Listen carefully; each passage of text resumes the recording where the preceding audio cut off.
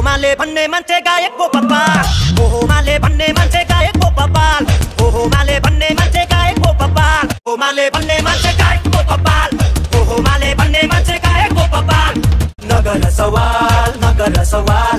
नगर सवाल नगर सवाल। ओहो, माले भन्ने मान्छे गायकको पप्पाल ओहो, माले भन्ने मान्छे